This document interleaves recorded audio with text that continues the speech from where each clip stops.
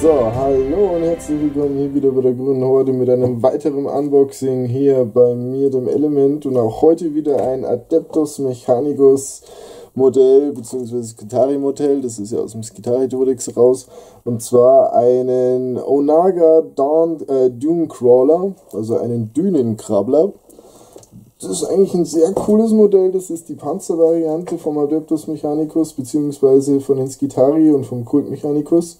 Und ist auch noch original verpackt, Teil meiner neuen Armee. Und jetzt schauen wir da mal rein, was da drinnen ist. Drin sein sollten, glaube ich, drei verschiedene Waffenoptionen.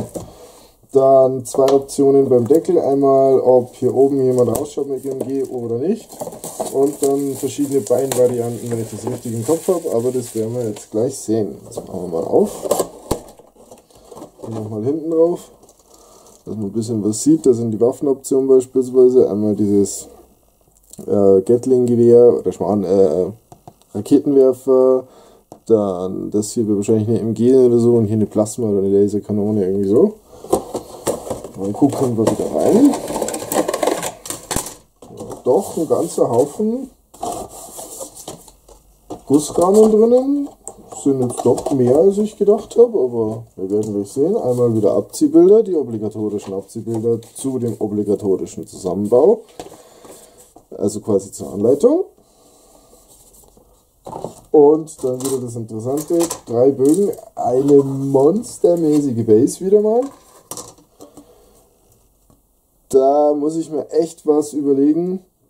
Vielleicht mache ich da ein Tutorial für euch, wie ich konkret diese Base gestalte, weil bei so viel Platz, da muss ich mir echt was überlegen, was zum Gesamtthema passt. Ich will nämlich die komplette Armee nicht in diesem klassischen Maß-Rot-Barts machen, sondern irgendwas anderes. Aber da überlege ich mir noch was. Aber jetzt gucken wir erstmal, was wir hier haben. Wir haben die dreimal die Gussrahmen. Hier einmal wieder einer mit relativ großen Teilen. Das sieht jetzt aus wie Seitenpanzerung, Bodenplatten und ähnliches viele Scheinwerfer, Krusch. Hier sieht man mal ganz schön.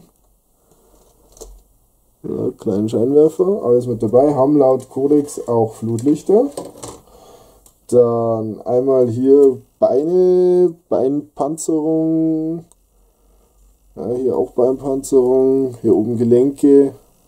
Ja, Beinpaare und da irgendwelche Feeling ja, irgendwie der Aufbau, auf dem die vier Beine stehen, einmal hier und einmal hier und hier mal einfach die Kugel für die Teilung zwischen Oberkörper und äh, Laufgestänge und hier einmal jede Menge Waffen und nochmal ein großes Teil für den Torso, beziehungsweise für den Turm, kann man sehen, wie man will. Ja, die, Option, äh, die Waffen, hier wieder das Symbol Adeptus Mechanicus für den Mars, so sieht's aus. Hier einmal die, äh, das Modell, das wo man oben rausschauen lassen kann. Hier. Ja, und dann dort hier noch mit den Beinen, dass man da so quasi so Panzerraupenbeine mit dazu tun kann zum Fixieren. Sieht interessant aus. Die großen Waffen, auch sehr cool. Hier die.